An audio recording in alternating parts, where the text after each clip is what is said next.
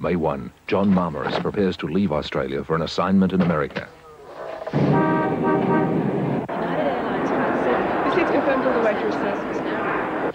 May 2, Denver. John joins 200 photographers to shoot the book A Day in the Life of America. After the brief, they fly to 200 different destinations across all 50 states on one airline. John leaves for Indianapolis to film the president. Another for his shot in Alaska. One leaves for Southern Tea Party. One for the best view of Dallas. A later flight takes another to New York. Only one airline can take you from Melbourne or Sydney to just on 200 American cities across all 50 states. When you know America, you'll fly the friendly skies.